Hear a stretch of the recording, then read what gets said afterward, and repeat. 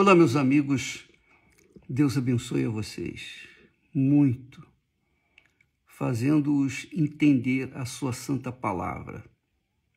Porque uma vez você entendendo a palavra de Deus, você vai entender o que, que Deus quer para você, qual é o projeto de Deus para você e o que, que você deve fazer, como você deve se comportar para que esse projeto se complete na sua vida e você seja completa, você seja uma criatura diferenciada de todas as demais que não conhecem a Deus. Muito bem. Eu gostaria de dividir com vocês aqui aquela aquele breve breve introdução das palavras de Jesus em João capítulo 14, quando Jesus diz assim: Não se turbe o vosso coração. Não se turbe.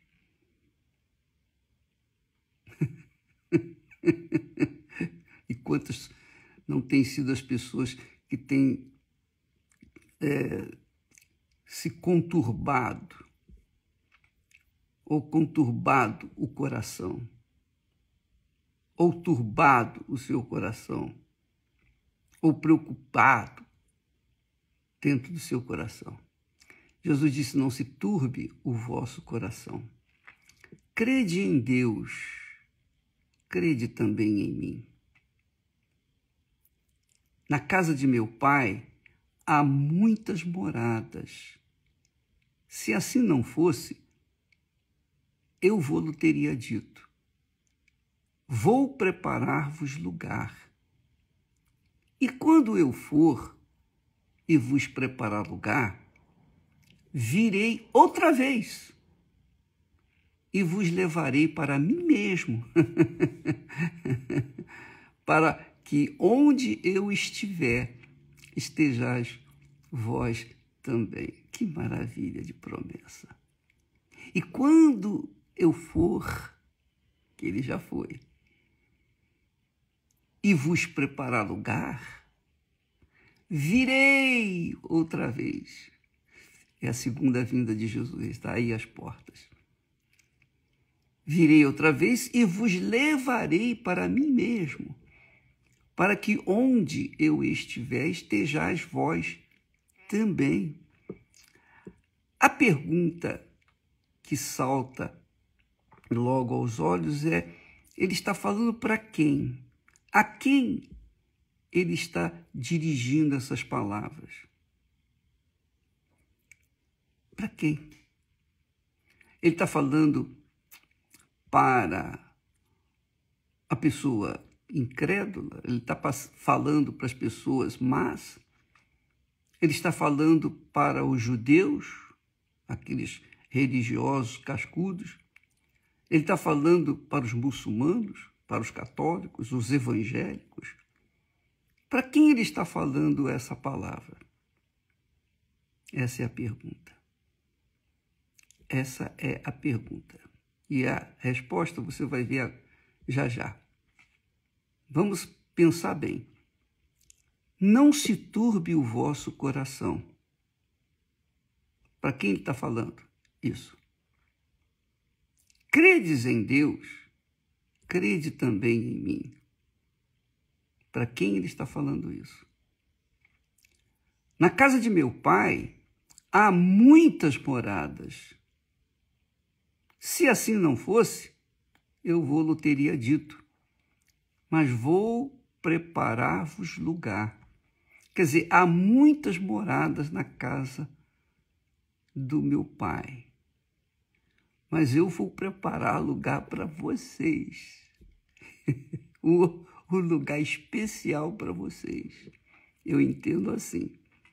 Mas quem são esses vocês? Quem são os vocês? E quando eu for e vos preparar lugar, e vos veja que Jesus enfatiza: eu vou preparar lugar para vocês. Quando eu for e vos preparar lugar, virei outra vez e vos levarei, e vos levarei, e vos levarei para mim mesmo, para que onde eu estiver,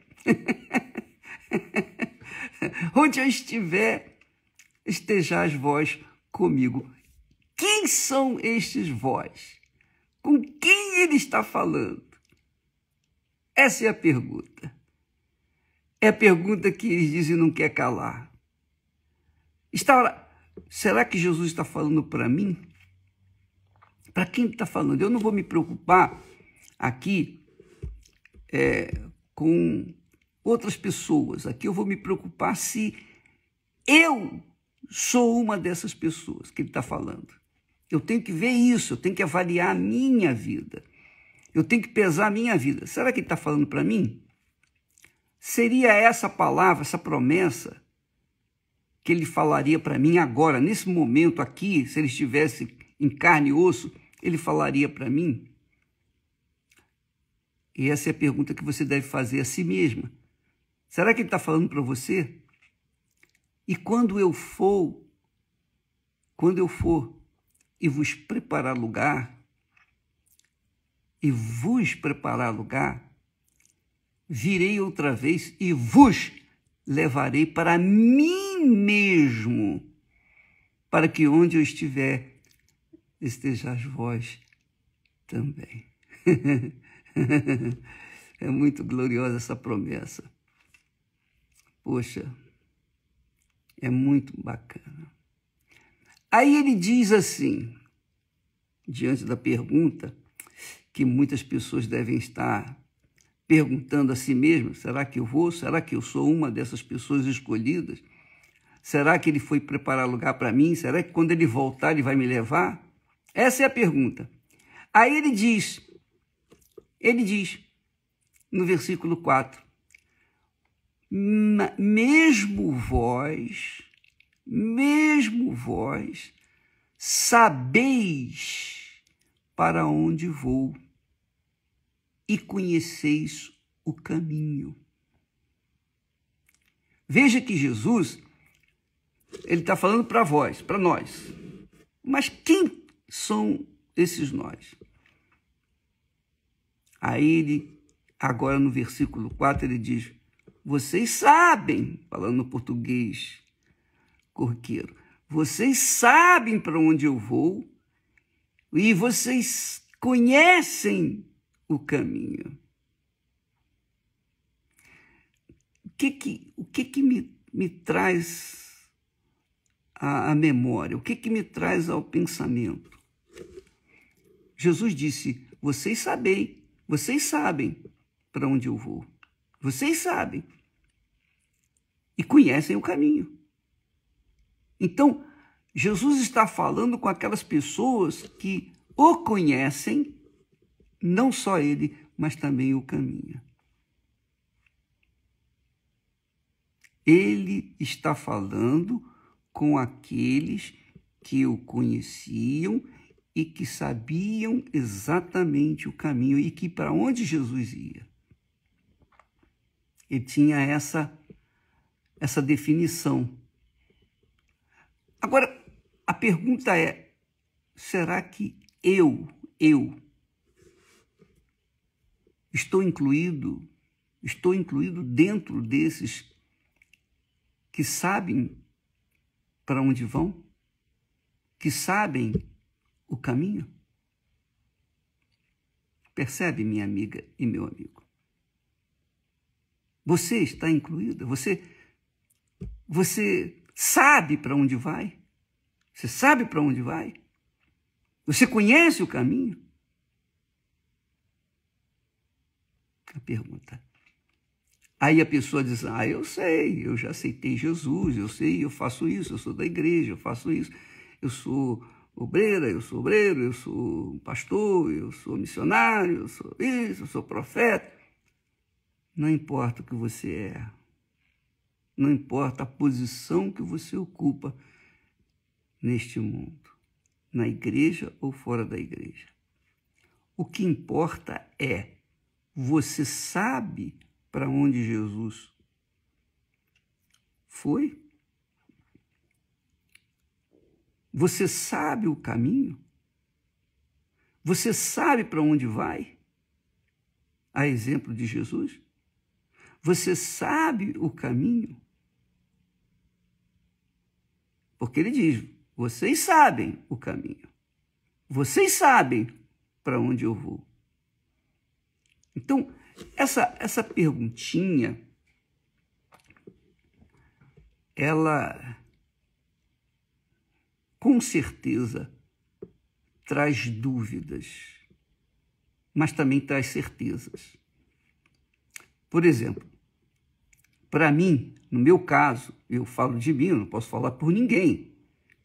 Eu só posso falar por mim. É a minha fé. No meu caso,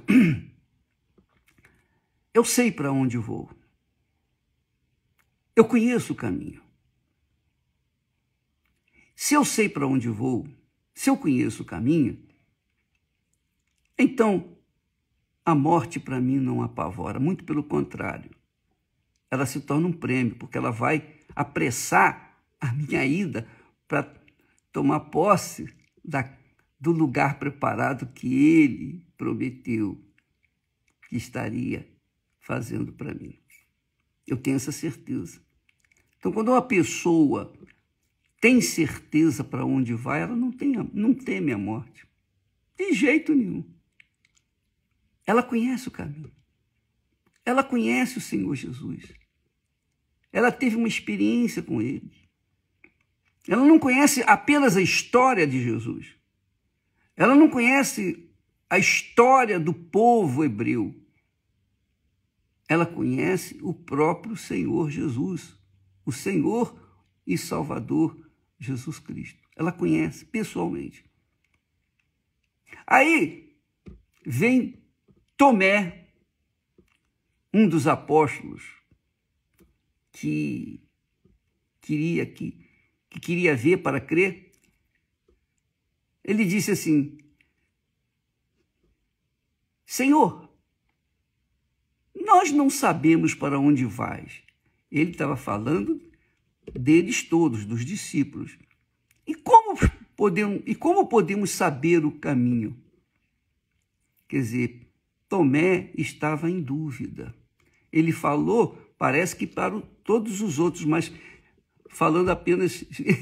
Na realidade, ele estava mostrando e demonstrando uma dúvida, ele pessoal, não é a dúvida dos outros apóstolos, não. Era uma dúvida dele, pessoal. Senhor, nós não sabemos. Ele devia ter falado, Senhor, eu não sei eh, para onde eu vou, nem conheço o caminho, nem posso conhecer o caminho. Mas ele falou por todos. Só que isso veio manifestar-se depois da ressurreição de Jesus. Você verifica que Jesus ressuscitou, e apareceu primeiro para Maria, Maria Madalena, apareceu para dois discípulos a caminho de Emaús, apareceu para os outros apóstolos, mas na hora que ele apareceu para os apóstolos, Tomé não estava reunido com eles. Não sei o que, ele estava fazendo, onde ele, nem onde ele estava. E quando ele voltou e se reuniu aos demais apóstolos, eles, os apóstolos falam, e nós vimos, Jesus apareceu aqui para a gente, olha, ele esteve aqui e tal. Aí Tomé disse, se eu não o ver, se eu não tocar nas suas feridas, do seu lado, eu não vou crer. Olha só o tipo de fé que tinha Tomé, que é o tipo de fé que a maioria, infelizmente, da igreja, dos que parecem ser discípulos? Tem, infelizmente, penso eu. Porque, veja só, minha amiga, meu amigo, quando a gente fala de Jesus, quando eu falo de Jesus, eu não estou falando de alguém desconhecido, eu falo daquele que, que eu conheço. Eu falo daquele que eu conheço. Por isso que quando eu leio o texto sagrado e medito, às vezes com vocês, eu começo a dar risadas, me vem um gozo na alma por é, entender perfeitamente aquela mensagem. Mas eu sinto muito pelos que não entendem, não compreendem, que vivem cheios de dúvidas nesse exato momento. Ah, bispo, eu não tenho certeza da minha salvação. Eu não tenho certeza. No fundo, no fundo, lá no fundo do, do meu coração, eu não tenho certeza. Eu tenho uma duvidazinha.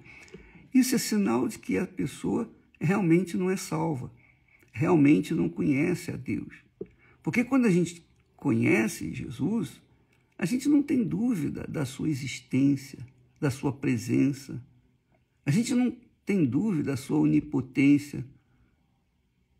Nós não temos dúvida de nada. Por quê? Porque nós o conhecemos. Isso aconteceu comigo e eu quero que aconteça com vocês. E a razão de eu estar aqui é justamente essa: para despertar em você essa fé, para despertar em você essa necessidade. Você tem que conhecer Jesus. Se você não conhece, o que, que adianta você ir na igreja? O que, que adianta você é, participar da Santa Ceia? O que, que adianta você batizar nas águas? O que, que adianta você fazer o, o que os, os pastores falam? Fazer a campanha disso, fazer a campanha daquilo? O que, que adianta tudo que você faz? De nada porque você tem que conhecê-lo. Você tem que conhecer Jesus para que você saiba para onde você vai, para onde vai a sua alma. Você tem que saber, conhecê-lo para saber para onde vai a sua alma. Essa é a realidade. Mas como é que eu faço isso, bispo? se eu ensinar a Bíblia para vocês, se eu ficar aqui ensinando a Bíblia 24 horas por dia, todo santo dia, pelo resto da minha vida, ainda assim não será suficiente.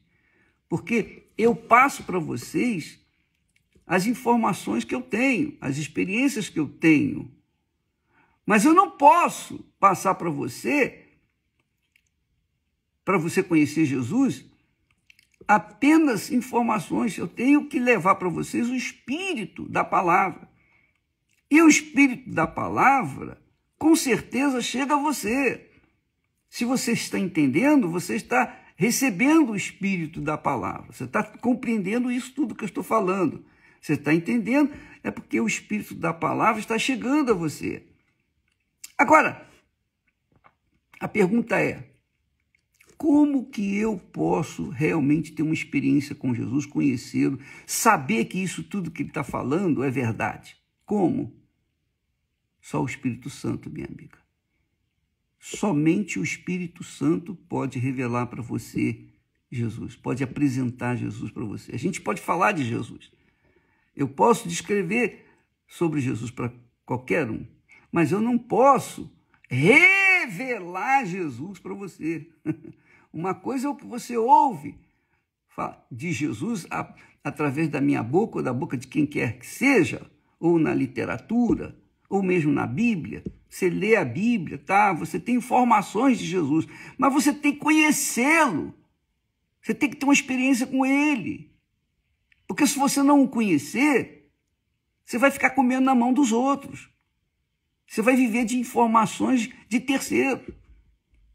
E você vai ficar incompleta. Ah, não tenho dúvida disso. Você só se completará quando receber o Espírito Santo. O Espírito Santo é quem revela Jesus para nós.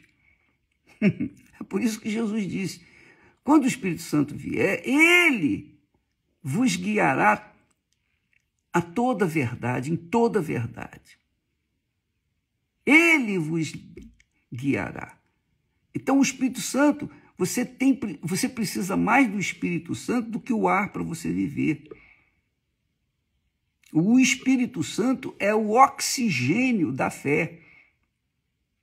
Eu diria isso com toda certeza e segurança. O Espírito Santo é o oxigênio da fé. E é a fé inteligente, não é a fé emotiva, não, não é a fé de mimimi, não. É a fé consciente, consistente, que sustenta a gente nos momentos mais cruéis, difíceis dessa vida.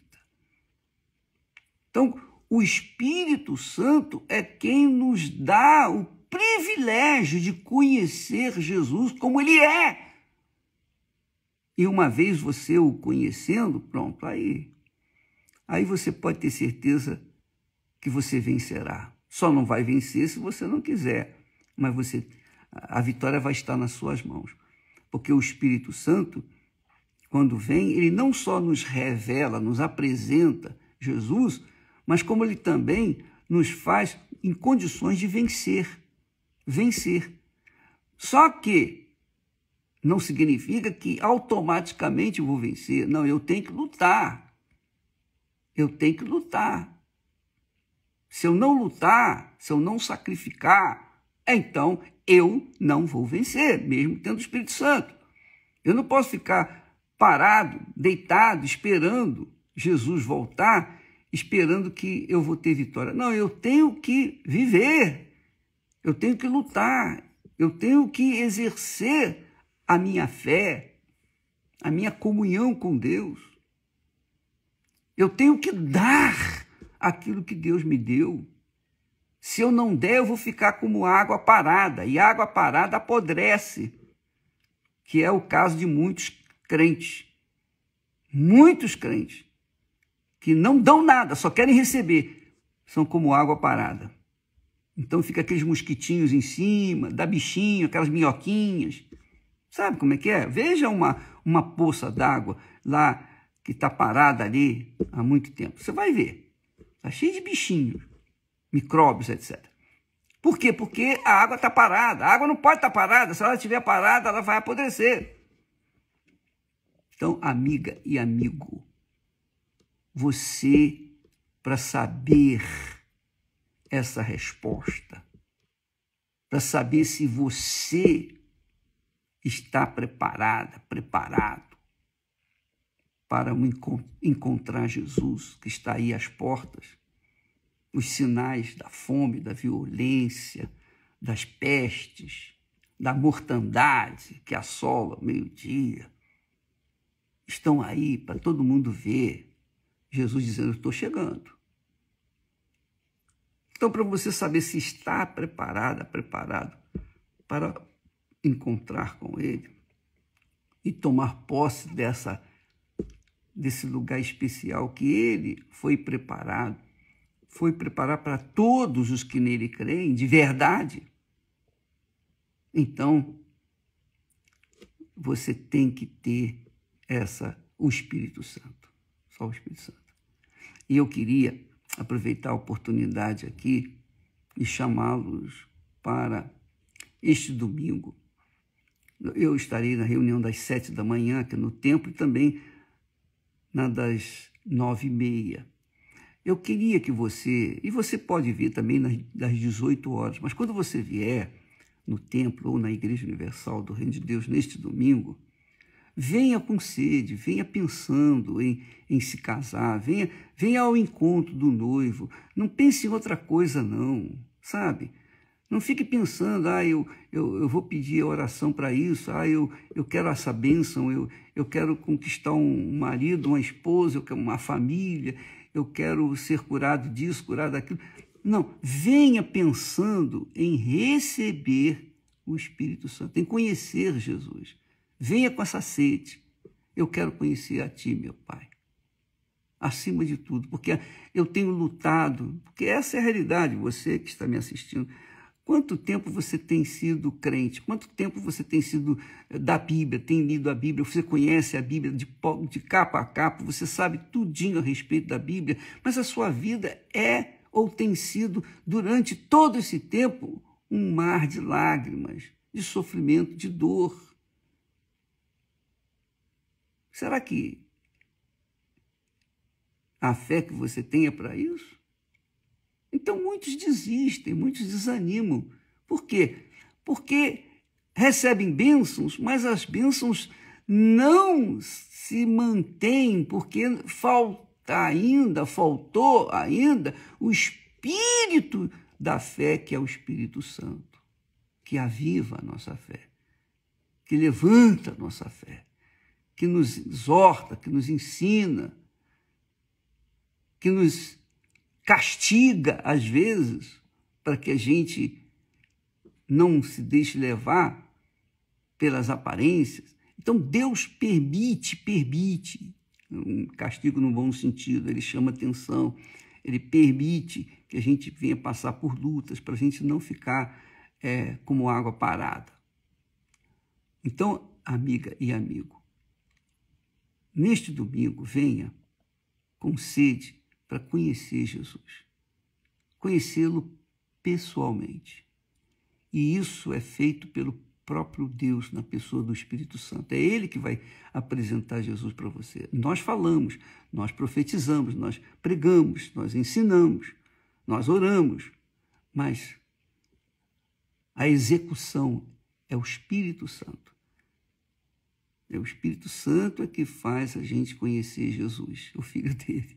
E uma vez conhecendo-o, então a gente pode ter convicção, a gente tem a convicção de que sabemos para onde vamos, qual o nosso destino final, nós sabemos para onde vamos.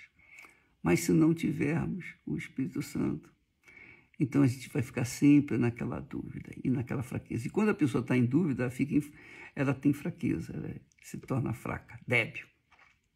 Bem, já falei demais, eu vou continuar. Outra coisa que eu queria avisar vocês, que segunda, nesta segunda-feira nós vamos começar a história no Univer vai ter história, o filme de, do apóstolo Paulo, vale a pena você assistir, vale muito a pena. Eu assisti, é muito, é muito forte. Vale a pena você assistir, tá bom? Fica com Deus e até a próxima em nome do Senhor Jesus. Amém.